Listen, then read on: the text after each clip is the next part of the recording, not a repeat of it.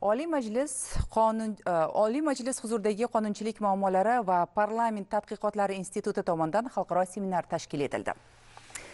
Tadbir xorijiy davlatlar parlamentida byudjet boshqarmalarining vazifalari va roli mavzuiga bag'ishlandi.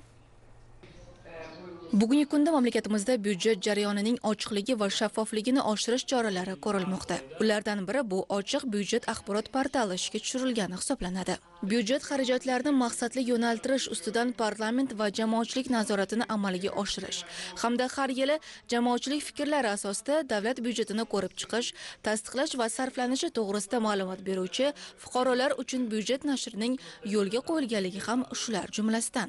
Prezidentimizni e, qarorlari bilan e, parlament vakillariga ko'makdosh sifatida e, byudjet jarayonini oshkoralikni ta'minlashda uning e, byudjet jarayonida byudjet qabul qilinishi va ishlatilishi ustidan nazoratni kuchaytirish maqsadida e, qonunchilik muammolari va parlament tadqiqotlari instituti huzurida byudjet tahlili bo'limi ochildi. Bundan tashqari e, qonunchilik palatasida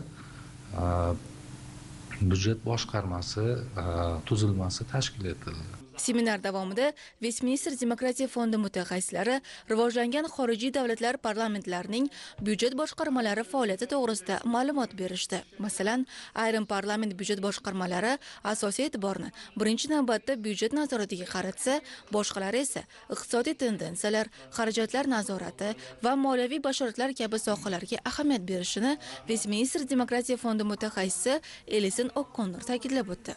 Byudjet jarayonida parlamentni rolini inobatga olgan holda biz e, bugungi tadbirda e, westminster demokratiya e, fondi mutaxassislar bilan hamkorlikda irlandiya va shotlandiya budjet boshqarmalarini mutaxassislarni chaqirdik. Bundan tashqari ishtirokchilar tomonidan davlat byudjetidan foydalanish ustidan parlament nazoratini o'rnatishga aloqador bo'lgan savollar ham muhokama qilindi. Seminar so'ngida oliy majlis qonunchilik palatasining byudjet boshqarmasi faoliyatini xalqaro standartlar va ilg'or tajribalar asosida tashkil etish bo'yicha tavsiyalar ishlab chiqildi.